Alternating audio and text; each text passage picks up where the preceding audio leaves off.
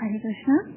श्रीमद भागवतम प्रथम स्कंद, दसवां अध्याय, श्लोक संख्या फोर इस आध्यात्मिक ज्ञान में प्रवेश करने से पहले गुरु और गौरंग से कृपा की याचना करते हुए मंगल आचरण करेंगे, ताकि हम जो अध्ययन कर रहे हैं, उसका पूरा पूरा लाभ प्राप्त हो सके, जो कि है कृष्ण प्रेम की प्राप्ति।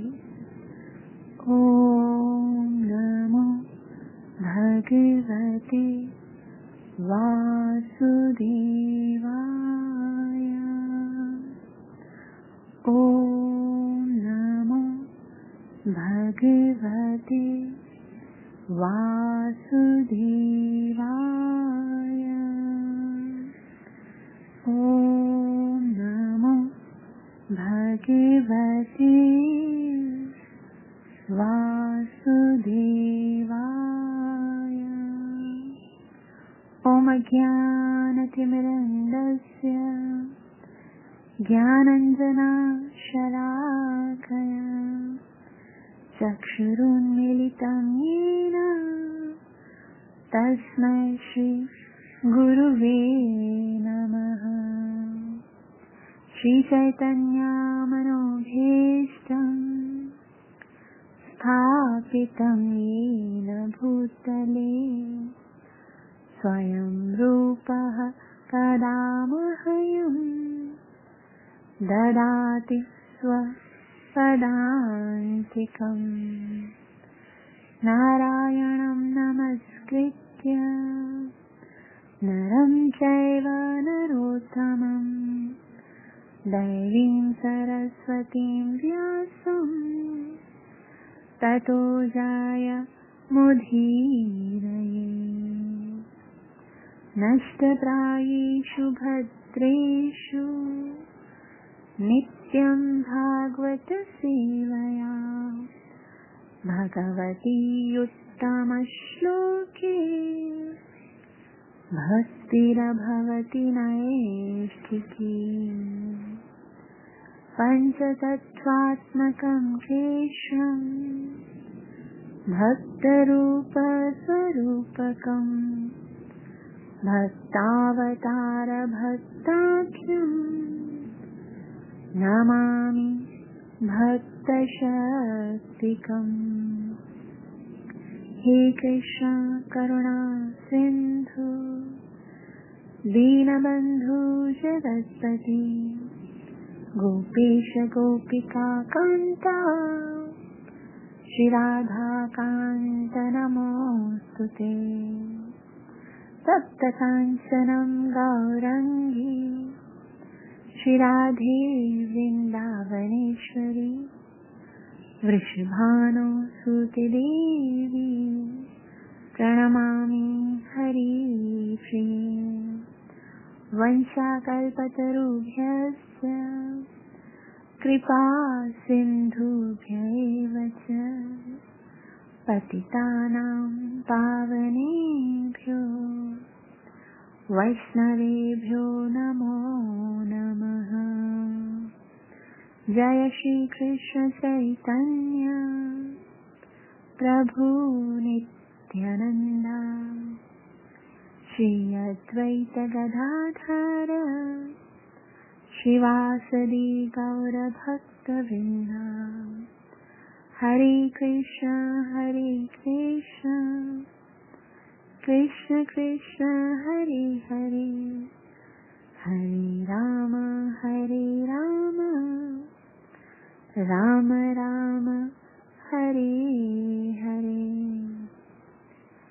श्रीमद् भागवतम प्रथम स्कंद दसवां अध्याय, जिसका शीर्षक है, द्वारिका के लिए भगवान श्री कृष्ण का प्रस्थान। जैसा कि हम जानते हैं कि महाभारत का युद्ध समाप्त हो गया।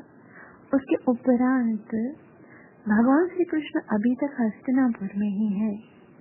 और जब युधिष्ठिर महाराज को बहुत शोक हो रहा था अपने सब संबंधियों की मृत्यु का, इसलिए वो भीष्म पितामह, पहले उन्होंने खुद समझाया बहुत, लेकिन क्योंकि युधिष्ठिर महाराज समझ नहीं रहे थे, इसलिए वो उन्हें भीष्म पितामह के पास लेके गए।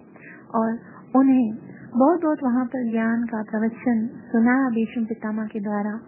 उसके बाद वो पुनः हस्तिनापुर में आए गांधारी और धृतराष्ट्र को सांत्वना दी उसके बाद शौनिक मुनि ने एक प्रश्न पूछा सुख गोस्वामी से कि पहले श्लोक में, हत्वा सरित आतसाइनो युधिष्ठिरो धर्मभीतां वरिष्ठः सहानुजय प्रत्यवरुद्ध भोजन कथं प्रवृत्त? किमकार कि जब उन समस्त आतिताइयों को शत्रुओं का वध करने के बाद, जब वो जानते थे, वो सब आतताई हैं और उनका सब संपत्ति ले लेना चाहते हैं तो धर्मराज युधिष्ठर ने क्योंकि वो धर्म का पालन करने वालों में सबसे ज़्यादा श्रेष्ठ थे, और उनके भाइयों ने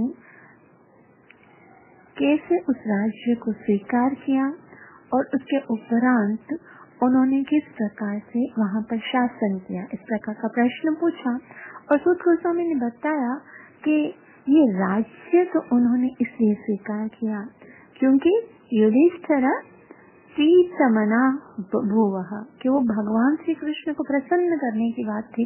कृष्ण इससे प्रसन्न होते थे, इसलिए उन्होंने इस राज्य को स्वीकार किया। और अब युधिष्ठिर महाराज ने किस प्रकार से शासन किया, उसके विषय में बता रहे सुत गोस्वामी। जैसा कि हमने कल पढ़ा, निशम्य भीष्मोक्तमथाच्युतोक्तम् प्रवृत्तविज्ञानविद्धूतविभ्रमा शशासदामिन्द्र इवाजिताश्रय परिध्युपान्तम् अनुजानुवर्तते। अर्थात, जब उन्होंने भीष्म पितामह के वाक्यों को सुना और पुनः वही बात जब भगवान श्री कृष्ण अच्युत ने उन्हें रिपीट करके बताई तो फिर उनके अंदर विज्ञान उत्पन्न हुआ। प्रवृत्त विज्ञान विधुत ब्रह्म और सारे उनका जो भ्रम था, भ्रम क्या था? विज्ञान क्या है? ये जगत ईश्वर के अधीन है, ईश्वर ही सब कुछ करते हैं, और इस विज्ञान ने विदुत ब्रह्म भ्रम, जो उनका भ्रम था कि मैं ही कारण हूँ इन सब की हत्या का, वो अज्ञान चला गया। और उसके उपरांत शैशात गामेंद्र इवाजिताशय वो इंद्र की तरह इस पृथ्वी पर शासन करने लगे, जिसके आधार पर जिताशय अजित आशय अजित का मतलब होता है भगवान श्री कृष्ण जिसको कोई नहीं जीत सकता। मतलब राजा अजित आश्रय थे और परिध्यु, परिध्युपांतम अनुजानुवर्तते और सारे उनके भाई जो थे, वो उन्हीं राजा के आश्रित थे। मतलब कितना सुंदर शासन है। सब कुछ कृष्ण की डायरेक्शन में हो रहा है तो क्यों नहीं सुंदर होगा? तो कैसा शासन किए और वो कितना सुंदर राज्य कर रहे थे, इसको, इनके सुंदर राज्य को इस तरह से वर्णन कर रहे हैं। आज के श्लोक में देखिए कि तो मेरे साथ साथ उच्चारण कीजिए। कामं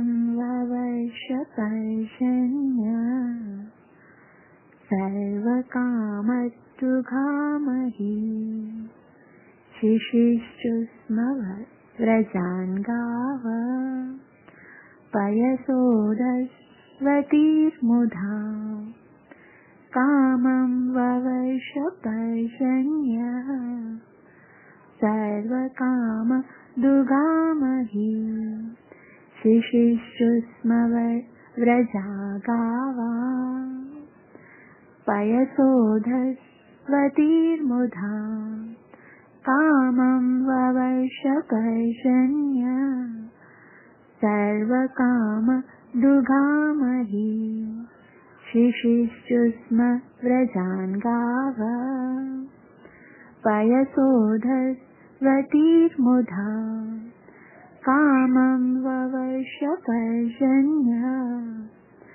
सर्वकाम दुर्गामहि शिशिश्चुस्म व्रजान् गाव पयसोदस्वतीर्मुधा कामं ववर्ष पर्जन्य।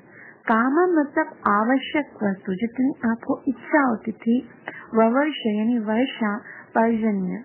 मतलब उतनी ही। जितनी मतलब प्रजा को जितना आवश्यक होता था ना, जल, जितनी जल की इच्छा होती थी, जितनी वर्षा की इच्छा होती थी उतनी ही वर्षा होती थी। मतलब ना कभी बाढ़ पड़ती थी और ना कभी सूखा पड़ता था। ना कभी कम वर्षा होती थी और ना ही कभी अधिक वर्षा होती थी। ये कितना बड़ा सौभाग्य है उस लोगों का जो वहाँ पर रहते होंगे। मतलब आजकल के युगों में तो वर्षा होती नहीं है। लोग इतना तड़प रहे होते हैं, पानी कुएँ सूख जाते हैं और जल जल लोगों को प्रोवाइड ही नहीं होता है। और क्यों? उसका कारण क्या है कि वर्षा होती नहीं है वास्तव में जितनी आवश्यक होती है। उतनी वर्षा अगर हो ना तो अभी जितना अन्न उपजता है, उससे दस गुना अधिक अन्न उपज सकता है। और अगर यज्ञ हो, जैसे भगवान श्री कृष्ण कहते हैं कि यज्ञ भवती पर्जन्य पर्जन्य अन्न संभव।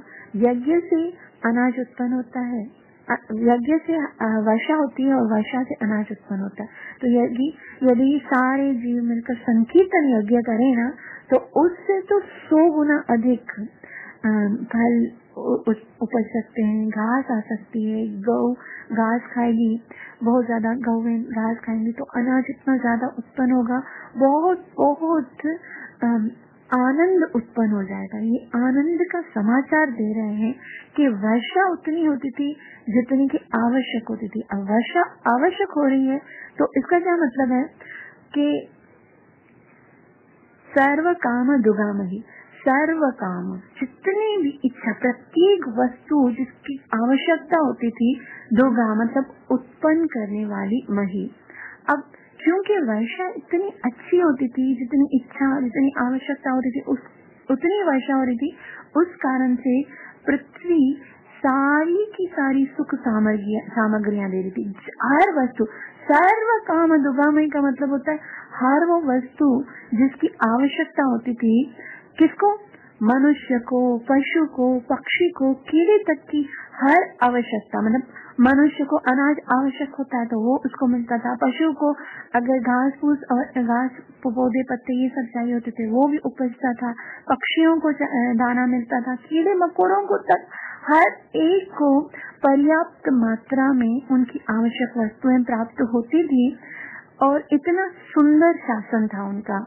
आजकल तो क्या होता है मनुष्य को पीने के लिए पानी तक मिलता नहीं है। सीधे मतलब एक स्वच्छ पानी पीने के लिए भी आज का मनुष्य जो है, वो उनको क्या करना पड़ता है? यूटिलिटी स्टोर से बोतल में पैक पानी लाना पड़ता है। पहले ऐसा नहीं होता था। मतलब पहले नदियों का पानी इतना शुद्ध होता था और इतना इजीली वहाँ पर हर किसी को प्राप्त होता था। आज तो यदि पानी भी लेना होता है तो पैसों पर लेना होता है, हवा भी लेनी होती है तो उसके लिए भी पैसे देने जैसे सब लोग बोलते हैं, भाई मॉर्निंग में पार्क में वॉक करने जाते हैं तो उसके लिए भी आपको पेमेंट करनी पड़ती है। क्योंकि आज ये सब प्राकृतिक उत्पन्न जो है ना, वो आना बंद हो गई है। केवल हर जगह पर देखिए फैक्ट्रीज हैं फैक्ट्रीज फैक्ट्रीज उसे इतना धुआँ होता है, इतना पॉल्यूशन होता है, इसीलिए मनुष्य का स्वास्थ्य बिगड़ गया है। और कितना, अभी ही इतना मतलब बुरा समय आ गया, अब न जाने आगे क्या होगा। लेकिन पहले क्या होता था, यहाँ पर युधिष्ठिर महाराज के विषय में बता रहे उनका राज्य कैसा था? कामम वर्ष पर्जन्य जितनी इच्छा होती थी, उतनी वर्षा होती थी, और सर्व काम दुगामयी और पृथ्वी सब कुछ, हर एक वस्तु जो है वो पर्याप्त मात्रा में दे रही थी। हर एक वस्तु जिसकी इच्छा होती थी। अब जैसे, हम जो भी वस्तुएँ यूज़ करते हैं, जैसे कपड़ा है, लोहा है, लकड़ी है, फल है, अनाज है, हर वस्तु पृथ्वी से निकलती है। तो पृथ्वी इतनी संतुष्ट थी कि हर एक वस्तु को अच्छे सर्व काम दुगाम ही मही कहते पृथ्वी को, वो हर एक वस्तु दे रही थी। आजकल क्या होता है? मतलब पृथ्वी से कुछ भी हम उपज नहीं हो पा रही है, क्योंकि वर्षा ही सही नहीं होती। उसका कारण क्या? राजा जो होते हैं, शासक जो है, वो ही, है ना, पवित्र राजा नहीं होते हैं। उनका सिर्फ़ एक ही कार्य होता है कि किस तरह से हम इस मुल्क को ज़्यादा से ज़्यादा खाएँ। मतलब ऐसा नहीं होता है कि किस तरह से प्रजा को हम अच्छे से अच्छा जीवन प्रदान करें। आज तो लकड़ी नहीं मिलती है भोजन के लिए। कितने सारे लोग होते हैं जो भोजन के लिए तरफ़ रहे होते हैं। दूध के लिए। अब देखिए, आगे क्या कहते हैं कि शिशिष्टुस्म व्रजान गाव। शिशिष्टुस्म का मतलब होता है मतलब वो भरी रहती थी व्रजान चरागाहों जहाँ पर गाय चढ़ती है ना, या जहाँ गाय रहती है, जहाँ चरा गाय, व्रजान उनको बोलते हैं। जहाँ पर गाय, घास खा रही होती। तो वो क्या थी? पयासा उद पयासोद स्वती मुदा। पयासोद का मतलब होता है भरे हुए होते थे। उनके थन दूध से इतने फूल भरे हुए होते थे और वो प्रसन्नता के कारण इतना उनको अच्छा वातावरण मिलता था। प्रसन्नता के कारण उनके धन धन में से अब बहुत सारा दूध निकाल भी देते थे, जो ग्वाले होते थे वो, और बछड़े जो थे वो भी दूध पीते थे। फिर भी हर वक्त उनकी गाय, गायों के जो थन थे, वो दूध से भरे हुए होते थे। मतलब यहाँ पर सूद गोस्वामी बता रहे हैं कि युधिष्ठिर महाराज के राज्य में जीव कितने सुखी थे, कि समस्त जीव किस तरह से सुखी थे, उनके सुख का दर्शन बता रहे हैं। और किस तरह से बता रहे हैं, दूसरे एक एक प्राणी का बोल के नहीं बता रहे, सिर्फ़ गौवों का नाम ले रहे हैं। वास्तव में भक्तों, जहाँ गौवे सुख से रहती है ना, और गौवे जहाँ पर आनंदित होती हैं वहाँ पर सारे जीव आनंदित होते हैं। इसीलिए यहाँ पर गौवों का स्पेशल नाम दिया गया है। व्रजान गाव यानी कि गऊ के सुख से। अब जहाँ पर वो रहती थी, वहाँ इतना दूध बहता था कि जो वहाँ की घास थी ना, वो हमेशा गीली रहती थी। और किसी भी राज्य में सुंदर शासन और सुख का प्रमाण है वहाँ की सुखी गौएँ अगर गौएँ सुखी हैं तो समझो वो राज्य सुखी है। और आजकल के युग में सबसे बड़ी विपत्ति ये है कि गौएँ सुखी नहीं है गौओं की हत्या हो रही है। और बहुत बड़ा दुर्भाग्य आज के जीवों का कि जो चाहते भी हैं, गौ को हत्या से बचाना, लेकिन वो कुछ कर नहीं पाते हैं। वो देख रहे हैं कि गौओं के साथ किस तरह से अत्याचार हो रहा है। लेकिन यहाँ पर बता रहे हैं कि अगर गौवे सुखी नहीं है तो समझो कि मानव जाति सुखी नहीं है। अनुवाद देखिए, महाराज युधिष्ठिर के राज्य में मनुष्यों को जितना भी पानी चाहिए था, उतना ही पानी बादल बरसाते थे। और मनुष्यों की सारी आवश्यकताओं की पूर्ति पृथ्वी देवी करती थी। दूध से भरे थनों वाली तथा प्रसन्न चित्त गावे अपने दूध से चरागाहों को सिक्त करती रहती थी। तात्पर्य, शीला प्रभुपाद द्वारा। शीला प्रभुपाद की जय हो। शीला प्रभुपाद जी समझा रहे कि आर्थिक विकास का मूल सिद्धांत भूमि तथा गायों पर केंद्रित है। अगर पृथ्वी और गायें पर्याप्त मात्रा में हो तो समझो आर्थिक विकास है। अगर नहीं है तो समझो कि बहुत ही अभी निष्कृष युग आ गया है। अन्न, फल, दूध, खनिज, वस्त्र, ईंधन आदि मानव समाज की आवश्यकताएँ हैं। ये सब जीव को, मनुष्य को, ये सब की आवश्यकता होती है। अनाज, फल, दूध, ये वस्त्र, ईंधन, ये सब की आवश्यकता होती है। शरीर की भौतिक आवश्यकताओं की पूर्ति के लिए इन्हीं वस्तुओं की आवश्यकता पड़ती है। मनुष्य को मांस तथा मछली या लोहे के औज़ार तथा यंत्र नहीं चाहिए। मनुष्य को जीने के लिए क्या चाहिए? अनाज चाहिए, दूध चाहिए, सब्ज़ियाँ चाहिए, ईंधन चाहिए और ये सब वस्तुएँ चाहिए ना। मांस और मछली या लोहा, ये सब नहीं चाहिए। जो आजकल फैक्ट्रियों में वस्तुएँ बनती है ना, वो जीने के लिए आवश्यक नहीं है। जीने के लिए आवश्यक है वर्षा। जीने के लिए आवश्यक है वायु जीने के लिए आवश्यक है। अनाज फल सब्ज़ियाँ दूध। तो यहाँ शिला प्रभुपा जी बोलते हैं कि महाराज युधिष्ठर के शास, शासन काल में सारे संसार में नियमित वर्षा होती थी। वर्षा मनुष्य के वश में नहीं होती है। स्वर्ग का राजा इंद्र वर्षा का अधिष्ठाता है और वह भगवान का दास है। जब राजा तथा राजा के अधीन लोग भगवान की आज्ञा का पालन करते हैं तो आकाश से नियमित वर्षा होती है और यही वर्षा पृथ्वी पर विविध प्रकार की उपजों की निमित्त स्वरूप है। अब यहाँ पर सब लोग क्या करते हैं, वो सोचते हैं कि हम बहुत ज़्यादा फैक्ट्रीज लगाएँ, बहुत ज़्यादा उन्नति हो देश की, लेकिन उन्नति हो नहीं सकती है जब तक कि वहाँ का जो राजा होता है, वो भगवान के आदेशों का पालन ना करे। और क्योंकि वर्षा जो है वो किसी मनुष्य की प्यार में नहीं होती है। उसका अधिष्ठाता कौन है? इंद्रदेव। और इंद्रदेव कब प्रसन्न होते हैं? जब राजा जो है वो भगवान के आदेशों का पालन करता है तो क्योंकि इंद्रदेव भगवान के दास हैं तो जब भगवान प्रसन्न होते हैं तो उनके दास होने के कारण इंद्रदेव का ये कर्तव्य हो जाता है कि मानव जाति को प्रसन्न करें। अब यहाँ पर ये नहीं लिखा हुआ कि महाराजा युधिष्ठर जो है वो इंद्रदेव को प्रसन्न करने के लिए कुछ अलग कार्य करते थे। साफ़ साफ़ लिखा कि युधिष्ठर महाराज क्या करते थे? युधिष्ठान प्रीत मना वो वो सिर्फ़ भगवान को प्रसन्न करने के लिए कार्य करते थे। और वो किस तरह से कार्य करते थे कि शशास गामेन्द्र इवा जिताशय जैसा भगवान की आज्ञा होती थी, भगवान की आज्ञा के अनुसार, भगवान की डायरेक्शन के अनुसार वो कार्य करते थे और उसकी बदली में वो सब कुछ प्राप्त होता था, जो कि एक सुखी राज्य को आवश्यक होता है। जी कहते हैं तो आकाश से नियमित वर्षा होती है और यही वर्षा पृथ्वी पर विविध प्रकार की उपजों की निमित्त स्वरूप है। नियमित वर्षा से न केवल प्रचुर धान्य तथा फल उत्पन्न होते हैं, अपितु जब नक्षत्रों के साथ वर्षा का संयोग बैठता है तो बहुमूल्य रत्न तथा मोती उत्पन्न होते हैं। अन्नों तथा शाकों से मनुष्यों तथा पशुओं का भरण होता है और मोटी गाय प्रचुर दूध देती है, जिससे मनुष्य को बल तथा जीवनी शक्ति मिलती है। यहाँ शिला प्रभुपा जी कितना सुंदर बता रहे हैं कि जब वर्षा उपयुक्त नक्षत्रों के साथ वर्षा की बूंदे मिलती हैं तो जैसे सिप्पो में बूंदे जाती हैं तो मोती बनते हैं और बहुमूल्य रत्न उत्पन्न होते हैं। और बारिश से क्या होता है? मतलब मनुष्यों के लिए शाक और पशुओं के भरण के लिए हर एक वस्तुएँ प्राप्त होती हैं और गायें जो होती हैं उनको भी प्रचुर मात्रा में जब घास मिलता है और फिर वो बहुत ज़्यादा दूध देती हैं तो सारे जीवों को बल मिलता है, जीवनी शक्ति मिलती है।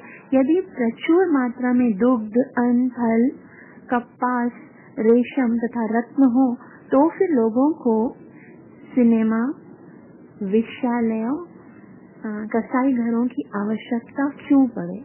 शिला प्रभुपा जी बोलते ये सब आज का मनुष्य इतना बिगड़ गया है उसका कारण क्या है? क्योंकि वर्षा नहीं हुई। वर्षा का ना होने का कारण क्या? है क्योंकि प्रजा जो है, राजा जो है, वो भगवान के आदेशों के अनुसार कार्य नहीं कर रहे, बल्कि अपनी इंद्र तृप्ति के लिए तो जब तक ये पूरा मनुष्य शिला प्रभुपा जी बहुत ही सुंदर बात कहते हैं कि पूरा ये समाज जो है, वो दुख भोग रहा है, उसका कारण एक ही है। क्योंकि जीव कृष्ण भावना अमृत को स्वीकार नहीं कर रहे यदि सब जीव भक्ति करना शुरू हो जाए, कृष्ण के आदेशों का पालन करना शुरू हो जाए तो संसार में कहीं दुख न दिखे। आगे श्री गोपाल जी कह रहे हैं, सिनेमा, कार, रेडियो, मांस तथा होटलों की कृत्रिम विलास में जीवन की क्या आवश्यकता? क्या इस सभ्यता ने एक दूसरे से तथा राष्ट्रीय स्तर पर लड़ने रहने, लड़ते रहने के अतिरिक्त और कुछ भी दिया है? क्या इस सभ्यता ने एक व्यक्ति की सनक पर हज़ारों व्यक्तियों को नारकीय फैक्ट्रियों में तथा युद्ध स्थलों में बेचकर समानता तथा विश्व बंधुत्व को बढ़ावा दिया है?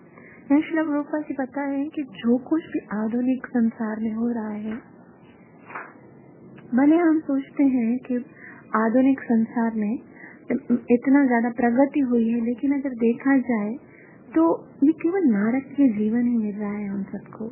ये सभ्यता, जो सिनेमा, ये वेश्यालय घर और ये सब भौतिक वस्तुएँ, मांस, होटलें इत्यादि, इससे जीवन, मनुष्यों का जीवन और भी बिगड़ रहा है। शिला प्रभुपा जी कहते हैं, यहाँ पर कहा गया है कि गौवे अपने दुग्ध से, चरागाहों से सिक्त रहती थी। क्योंकि उनके थन दूध से भरे रहते थे और वे परम प्रमुदित रहते थे। तो फिर क्या उन्हें खेतों में पर्याप्त मात्रा में घास खिलाकर प्रसन्न जीवन बिताने के लिए समुचित संरक्षा की आवश्यकता नहीं है? तो लोग अपने स्वार्थ के लिए उनका वध क्यों करें? मनुष्य अन्न फल दूध से क्यों नहीं संतुष्ट हो लेता? क्यों उनसे हज़ारों प्रकार के व्यंजन तैयार हो सकते हैं? और तो फिर इन निर्दोष पशुओं का वध करने के लिए सारे विश्व में कसाई कर क्यों खुले हैं? महाराज युधिष्ठिर के पौत्र महाराजा परीक्षित ने अपने विशाल राज्य का दौरा करते हुए देखा कि एक काला व्यक्ति गाय का वध कर रहा है। तो राजा ने तुरंत उस कसाई को गिरफ़्तार करके उसे दंडित किया। क्या राजा या कार्यदक्ष को इन बेचारे पशुओं की रक्षा नहीं करनी चाहिए, जो अपनी रक्षा स्वयं करने में अक्षम है? क्या यह मानवता है? क्या देश के पशु देशवासी नहीं है? तो फिर सुचालित कसाई घरों में वे उनके वध किए जाने की अनुमति क्यों देते हैं? क्या ये सामान्यता, ये समानता, बंधुत्व तथा अहिंसा के लक्षण है? अतएव सरकार के आधुनिक प्रगतिशील संस्कृत स्वरूप के विपरीत महाराज युधिष्ठिर का सा राज्य तंत्र तथा तथा कथित प्रजातंत्र से श्रेष्ठ है, जिसमें पशुओं का वध किया किया जाता है। और पशुओं से भी गिरे हुए मनुष्य को पशु से भी गिरे हुए दूसरे मनुष्य के लिए मतदान करने लिया जाता है कर, करने लिया जाता है।